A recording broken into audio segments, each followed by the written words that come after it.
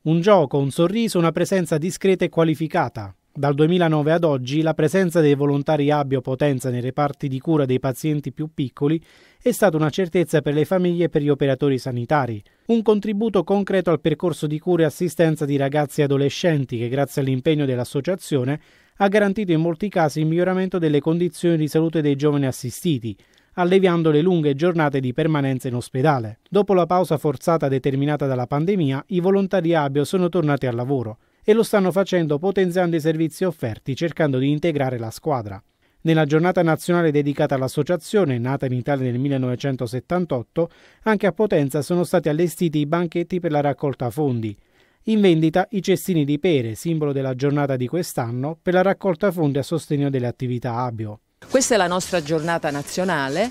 Eh, rivolta alla raccolta di fondi per poter sostenere eh, il nostro lavoro e il nostro volontariato all'interno dell'ospedale e anche per poter eh, inserire nuovi volontari con dei corsi, volontari di cui abbiamo bisogno perché il periodo del Covid ci ha un po', ha un po bloccati. Diciamo.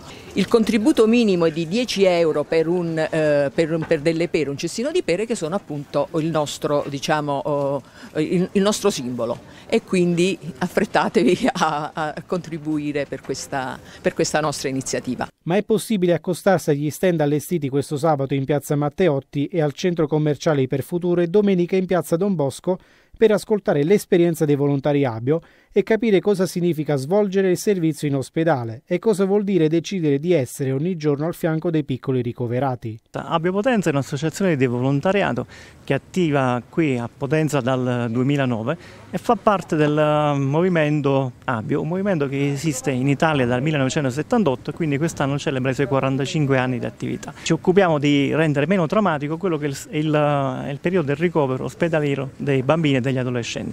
Quindi siamo a fianco dei bambini, fianco degli adolescenti, a fianco delle, delle loro famiglie. Eh, la nostra attività consiste in cose semplici, non, non, siamo supereroi, siamo semplicemente delle persone che hanno deciso di mettere a disposizione degli altri il, il loro tempo, perché siamo convinti che diciamo, anche consentire a una mamma di allontanarsi un attimo per andare a prendere il caffè, intrattenere un bambino per fare un gioco, quindi serve a rendere l'ospedale un ambiente più vivibile e a ricreare quell'ambiente diciamo, normale che ogni bambino, ogni adolescente vive nella propria casa.